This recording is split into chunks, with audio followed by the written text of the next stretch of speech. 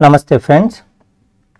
మీకు అందరికీ తెలుసు నవోదయ విశ్వవిద్యాలయం వారు నవోదయ విశ్వవిద్యాలయం సంబంధించినటువంటి తొమ్మిదో తరగతిలోకి ప్రవేశం కోసము నోటిఫికేషన్ అనేది రిలీజ్ కావడం జరిగింది.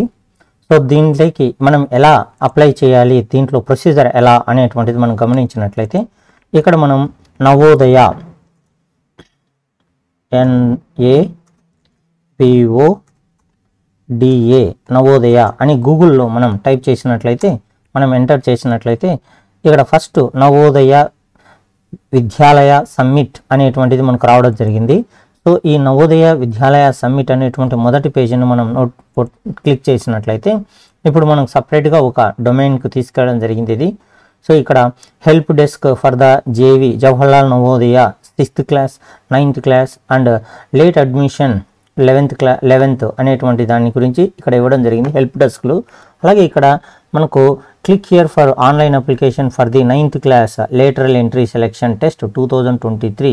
The last date is fifteenth ten two thousand twenty two అని అడుగుతున్నాడు. సో ఇప్పుడు మనకు ఉన్నటువంటి నోటిఫికేషన్ అనేటువంటిది తొమ్మిదవ తరగతికి సంబంధించిన నోటిఫికేషన్ ఉంది. దానికోసం ఇక్కడ క్లిక్ చేయండి అని అడుగుతున్నాడు. సో మనం ఇక్కడ క్లిక్ చేస్తే మనల్ని సపరేట్ డొమైన్కి తీసుకెళ్తుంది. సో క్లిక్ చేశాను. సో ఇక్కడ మనల్ని ఏమడుగుతున్నాడు అంటే click here view for the notification అడుగుతున్నాడు లేదా ప్రాస్పెక్టర్స్ గురించి వెళ్ళాలంటే చేయండి అంటున్నాడు లాగిన్ తీసుకోవాలంటే ఇక్కడ యూజర్ నేమ్ పాస్వర్డ్ ఇవ్వండి అని అడుగుతున్నారు. సో ఇది మనం లాగిన్ చేయడానికి మనకు అసలు మనం రిజిస్ట్రేషన్ చేయలేదు కాబట్టి అసలు రిజిస్ట్రేషన్ చేయాలంటే ఏంటి ప్రొసీజర్ అనేది ఇక్కడ ఉంది క్లిక్ హియర్ ఫర్ రిజిస్ట్రేషన్ అని దాని మీద మనం క్లిక్ చేసినట్లయితే మనం రిజిస్ట్రేషన్ అనేటువంటి డొమైన్లోకి తీసుకెళ్తాం. ఇక్కడ క్లియర్గా ఇవ్వడం జరిగింది. Application sorry online application for the later entry of admission ninth sir two thousand twenty three and twenty four against vacancy seat vacancy సీట్లకు మిగిలిపోయినటువంటి వాటి సీట్ల కోసం ఇక్కడ నేను అప్లికేషన్ ఇస్తున్నాను అంటున్నారు. సో ఇక్కడ మనం ఫస్ట్ మనం ఏ స్టేట్ నుంచి అప్లై చేస్తున్నాం అనేటువంటిది ఇవ్వాలి.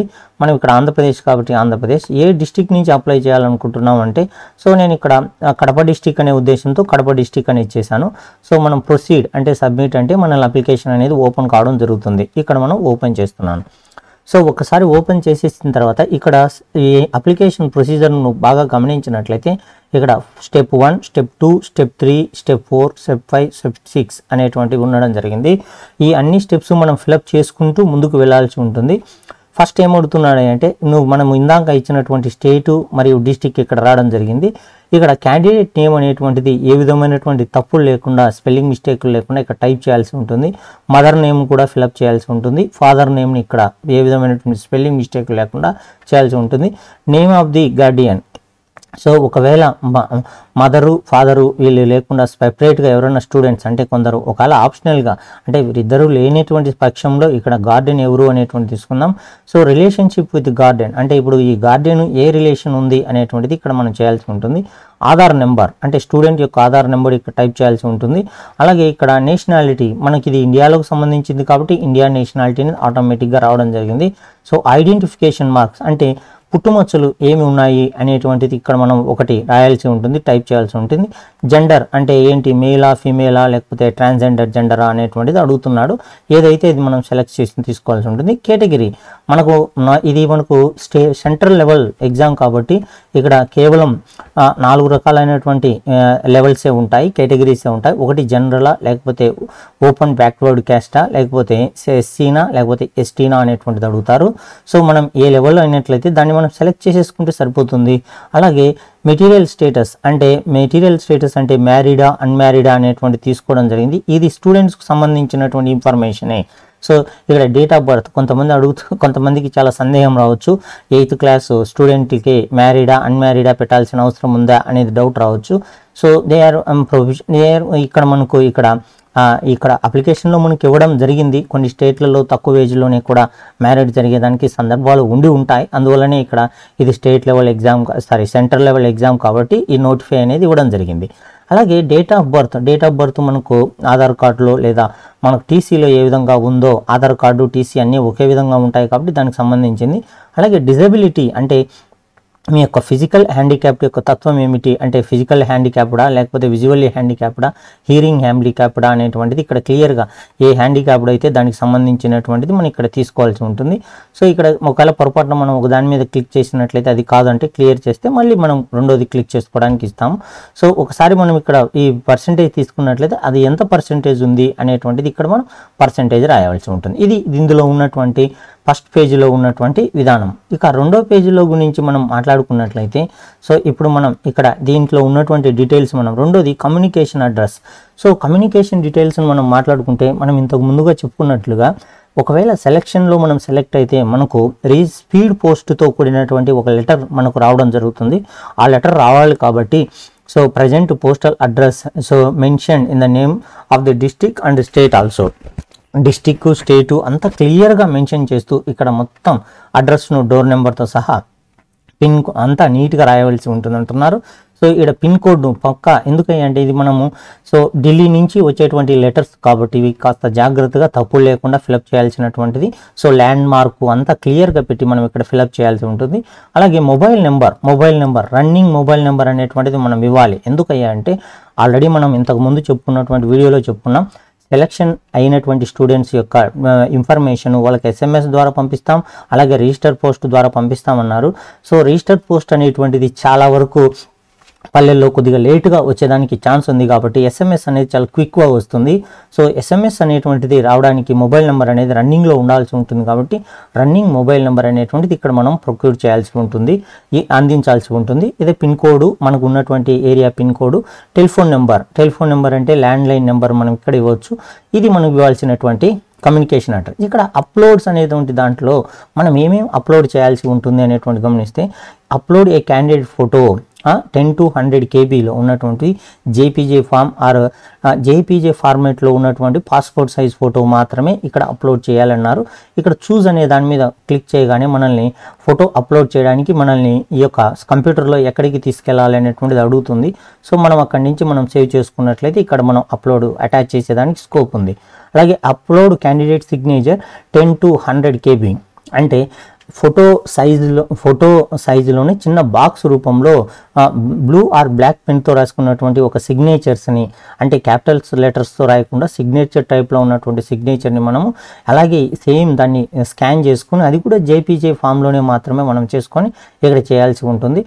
సో అదేవిధంగా ఇక్కడ చూడండి అప్లోడ్ ఏ పేరెంట్ సిగ్నేచర్ అంటే ఇప్పుడు ఈ స్టూడెంట్ యొక్క పేరెంట్ గార్డియన్ లేదా పేరెంట్ ఎవరున్నారో వాళ్ళు కూడా మనకు ఆ సిగ్నేచర్ చేసి ఇక్కడ మనం అప్లోడ్ చేయాల్సి ఉంటుంది. సేమ్ చిన్న సైజులో. ఇలా ఒక బాక్స్ లాగా మనము సైజు అంటే ఫోటో సైజ్ ఎంత ఉందో దాన్ని చిన్న బాక్స్ రూపంలో మనం చేసుకొని ఇక్కడ మనం అప్లోడ్ చేయాల్సి ఉంటుంది. అప్లోడ్ చేయాల్సినటువంటివి.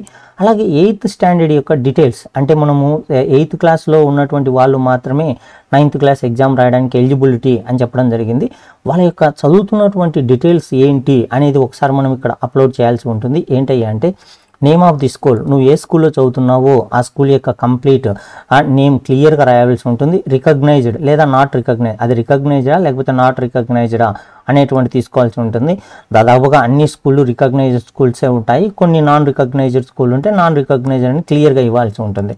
సో స్టేట్ అనేటువంటిది మనం ఇప్పుడు ఆల్రెడీ స్టార్టింగ్లో తీసుకున్నాం ఆంధ్రప్రదేశ్ అదే ఇక్కడికి వచ్చి కడపలో మనకు ఆ డిస్టిక్ కడప అని తీసుకోవడం జరిగింది. అదే ఇక్కడికి రావడం జరిగింది. స్కూల్ లొకేషన్ ఎక్కడ ఉంది? రూరల్లో ఉందా? అర్బన్లో ఉందా? అనేటువంటిది. రూరల్ సీట్లు అనేటువంటి సపరేట్గా ఉన్నాయి కాబట్టి ఒకవేళ మనం చదువుతున్నటువంటి స్కూలు అంటే రూరల్ అంటే మనము పల్లె పల్లె పోతా ఉన్నాం. అర్బన్ అంటే పట్టణీకరణంలో ఉన్నటువంటి వాటిని అర్బన్స్ అని అంటాము. సో మన స్కూల్ రూరల్లో ఉంటే రూరల్ అని అర్బన్లో ఉంటే అర్బన్ అని ఇవ్వాల్సి ఉంటుంది. సో ఈ బ్లాక్ అంటే మనం ఏ బ్లాక్లో ఉన్నాం? ఈ కడపలో మనకు ఇలా ఉన్నటువంటి బ్లాక్స్ అన్ని తీసుకోవడం జరిగింది.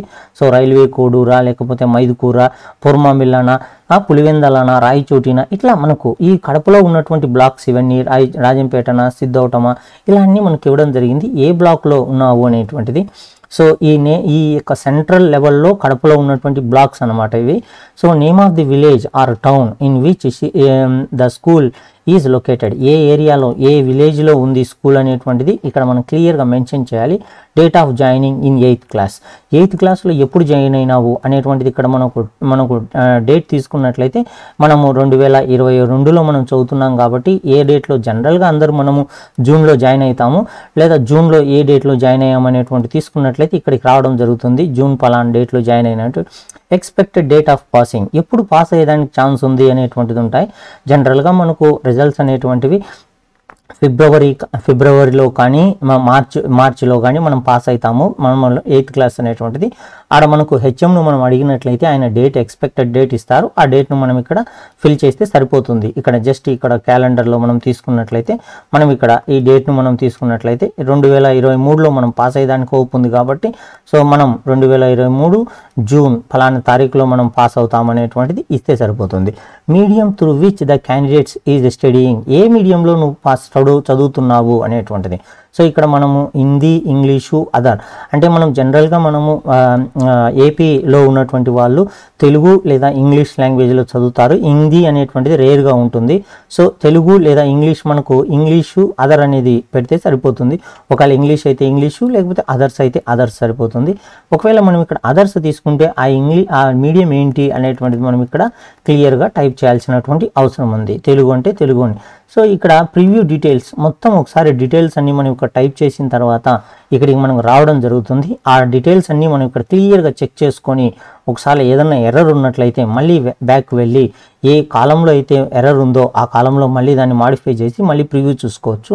సబ్మిట్ ద డీటెయిల్స్ అంటే ఇక్కడ ఈ నేను ఈ పేరెంటు మనం ఇద్దరం సైన్లు సిగ్నేచర్ చేసి పెట్టామంటే సో స్టూడెంట్ పేరెంటు ఇద్దరు సైన్లు అప్లోడ్ చేశామంటే వాళ్ళిద్దరూ ఇక్కడ ఉన్నటువంటివన్నీ క్లియర్గా మనము జెన్యున్గా మనము నిజమైనటువంటివి అని మనము ఒప్పుకొని సబ్మిట్ చేస్తున్నామనే లెక్క. కాబట్టి అవన్నీ కరెక్టే అన్నట్టుగా ఒక డిక్లరేషన్ ఫామ్ మీద మనం పేరెంట్ ప్లస్ స్టూడెంట్ ఇద్దరికి డిక్లరేషన్ చేస్తూ సబ్మిట్ చేస్తున్నాం. ఇక్కడ వచ్చినటువంటి ఈ ఇక్కడ ఉన్నటువంటి ఈ కోడ్ను మనం ఇక్కడ ఎంటర్ చేసినట్లయితే ఈ టెక్స్ట్ బాక్స్లో ఎంటర్ చేసినట్లయితే మనకు సబ్మిషన్ అనేటువంటిది జరగడం జరుగుతుంది. సో ఇలా మనము అప్లికేషన్ అనేటువంటి సబ్మిట్ చేసేసి మనం దానికి సంబంధించినటువంటి మా అప్లికేషన్ మనం ప్రాసెస్ చేయడం అనేటువంటిది ఈజీ అవుతుంది. ఇది మనకు చేసేటువంటి విధానము మనం అప్లోడ్ చేయాల్సినటువంటి డాక్యుమెంట్స్ నాకు తెలిసి ఈ వీడియో మీకు నచ్చినట్లయితే దయచేసి దీని యొక్క రిక్వైర్మెంట్ ఎవరికి ఉందో వాళ్ళకి దయచేసి షేర్ చేయవలసిందిగా కోరుచున్నాను.